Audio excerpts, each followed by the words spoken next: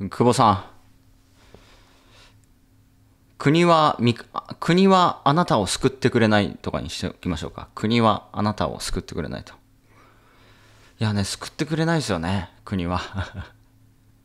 まあ、救、救ってくれる気持ちがあるんだったら、なんかね、あのなんですか、例えば、あの、会社にね、あの、か、なんか還元して、給料を上げるとか、もしくは、うーん、なんだろうな、物価が上がらないように、その、物価が上がってる分、あの、補助金出しますよ。だから物価を上げない、その、食品を上げないでくださいみたいな。食品を上げるんだったら原材料上がってるからね。円安になって今原材料上がってるから。じゃあそれを、なんかあの、補助金出します。だから、国民の今収入は上がってないんだから、その上げないでくれと。ただ、あの、会社も厳しいでしょうと。だその、その分補填しますよっていうふうにやってくれないですよね。うんまあ一部はそういう活動もあるのかもわかんないですけど、結局、まあ実際のところ4月になっても相当何千種類も値上げになってますから。うん。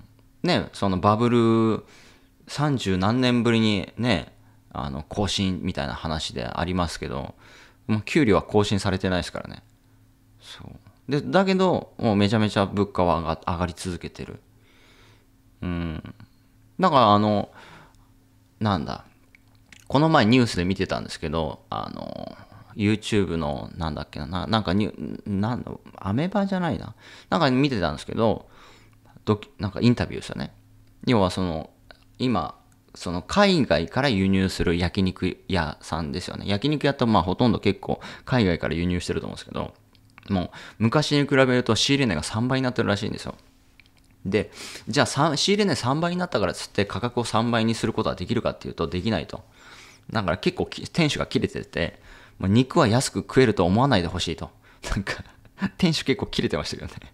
もう肉はすいません。もう、あの、安く食えるというもんじゃないんです。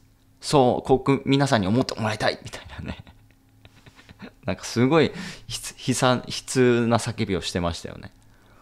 だ例えばステーキ今まで1000円で食えてたのが、じゃあ3倍になって3000円にしたら、どうすか？ランチ3000円です。ステーキ今1000円でランチで食えてたけど3000円にしました。ランチね、ステーキ。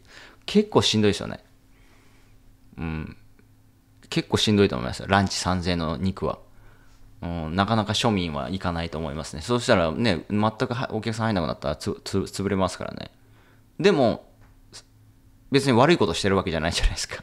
仕入れ値が3倍になったんだから3倍にしてるだけであって、悪いことしてないんだけど、お客さん離れてきますよね。